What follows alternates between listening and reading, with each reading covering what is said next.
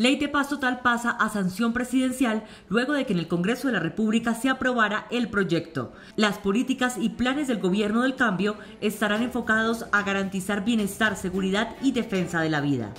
El ministro de Defensa, Iván Velázquez, afirmó que la posible presencia de militares activos y retirados en la mesa de negociaciones con el ELN es importante por el conocimiento que tienen del accionar de las organizaciones ilegales.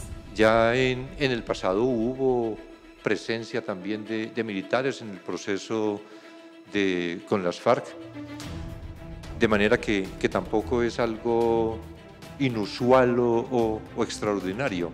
Lo que podríamos decir es, se conserva esa consideración de la conveniencia de presencia de militares en las mesas. Durante la ceremonia de ascensos de los nuevos 265 oficiales de la policía, el presidente Gustavo Petro le encargó al ministro avanzar en la profesionalización de las fuerzas.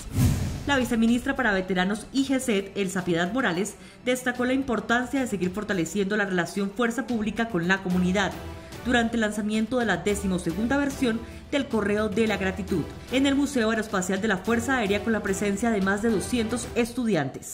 Correo de la Gratitud